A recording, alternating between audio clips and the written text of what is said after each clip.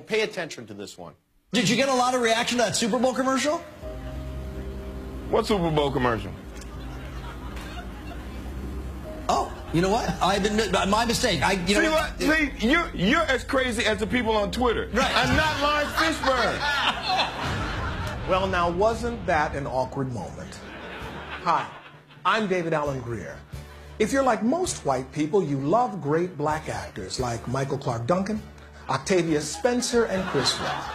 I know it's so hard to tell us apart.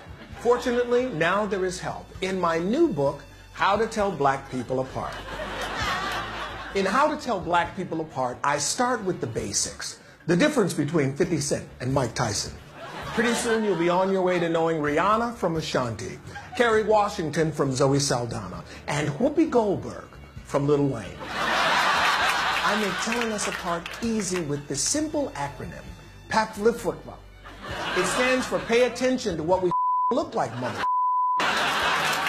Look closely and you'll see the subtle differences between John Legend and Pharrell, Kanye West and Puff Daddy. Wait, Puff Daddy and Kanye West. I was testing you. How to tell black people apart will help you discriminate without discriminating.